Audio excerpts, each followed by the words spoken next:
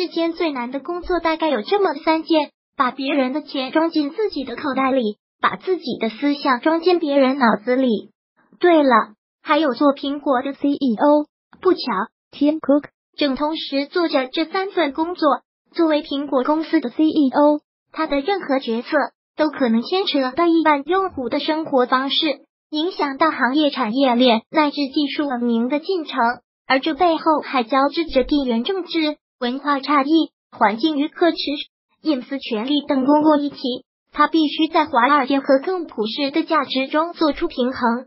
然而，统领苹果七年。这三件事他做的都不错，苹果坐稳了全球市值最高公司的宝座，市值突破了一万亿。iPhone 获得了全球智能手机九成的利润，在卖出的十亿部 iPhone 中，百分之八十七来自它的时代。而苹果这家硅谷公司，因它倡导的多元价值，它恪守的商业道德，成为一个价值观鲜明的公司。在发布会结束后。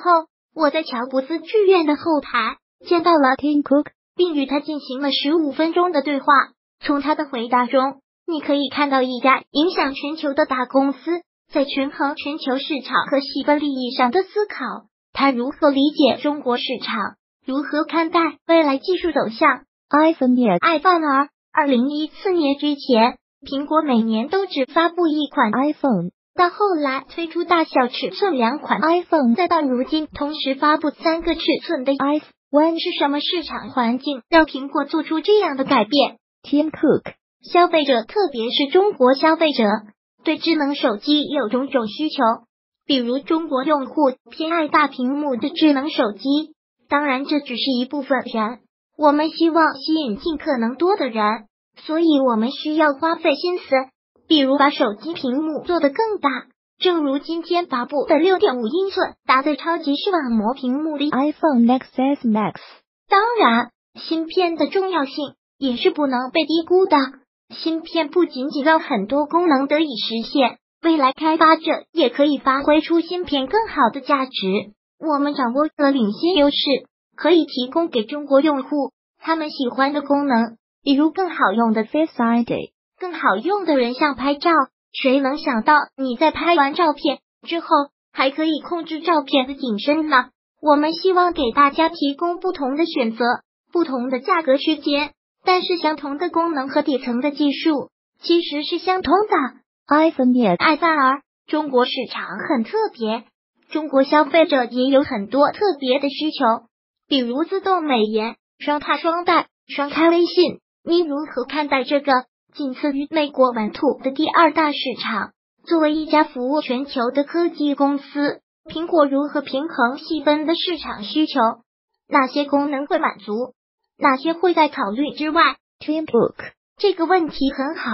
有些需求其实是举世皆然的，比如大家都希望手机能搭载最强大的芯片，大家都喜欢栩栩如生的超级视网膜屏幕，大家都。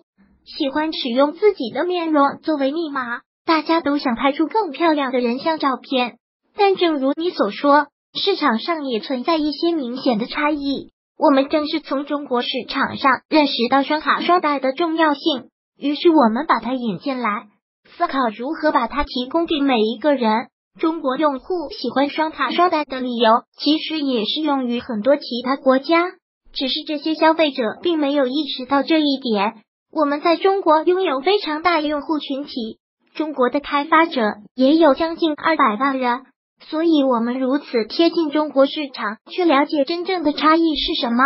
我们非常乐意做出改变，去完善那些我们还没有想到的功能。iPhone 也爱范儿，双卡双待之外，你还看到了中国市场的哪些特殊性？你如何理解这些特殊需求的存在？有什么启发？Tim Cook。我们看到的另一个例子是二维码。二维码在中国的重要性远超其他任何地方，所以我们提供了更简单使用二维码的功能。其实，在很多情况下，我们都会把这些功能带到全球，包括你现在看到了的双卡双待二维码。一个重要的原因就是，中国成长的步伐实在太快了，中国消费者的接受度是非常高的。中国没有经历所谓的桌面互联网的阶段，而是直接拥抱了移动互联网。因此，中国消费者的思维里并没有桌面互联网时代的那些包袱。这一定程度上解释了为什么中国的移动支付占有率如此之高，其他一些国家的移动支付进程就缓慢许多。其实他们只是没有更多的尝试而已。所以，我认为这个世界有很多可以向中国学习的地方。苹果作为世界的一部分，我们有理由去关注消费者的需求。iPhone yes, 爱范儿，因为 iPhone 的支持。AR 行业在过去一年得到了长足的发展，苹果的路线看似很清晰，先建立能够开发出 AR 内容的底层工具，再构筑软件生态。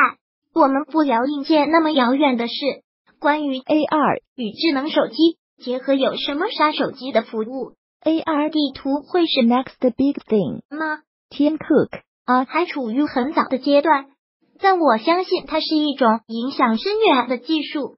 它影响的不仅仅是智能手机，还包括我们生活中的其他设备。AR 可以丰富我们之间的对话，它可以提供对话涉及的一些虚拟元素，比如谈及的食物、地理位置等等。很多应用已经涌现出来了，有些东西还需要进一步完善。但正如你所说，苹果最重要的事情是支持开发者社区。这件事之所以重要。是因为苹果的创新来自数百万人，我们一次又一次的见证。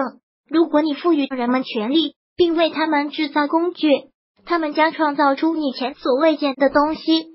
我们的工具也在快速迭代。大概一年前，我们推出了第一代 Arcade，很快它升级到一点五代，进而到现在的二点零，体现在 AR 游戏上，就是你可以从单人的游戏世界进入到多人的 AR 世界。正如今天发布会上你看到的演示，但 AR 远远不只是游戏，游戏只是 AR 的一个重要组成部分。如果你想从万物中看到未来，我的建议是观察开发者社区，你很快就会看到一些非常棒的东西被发明出来。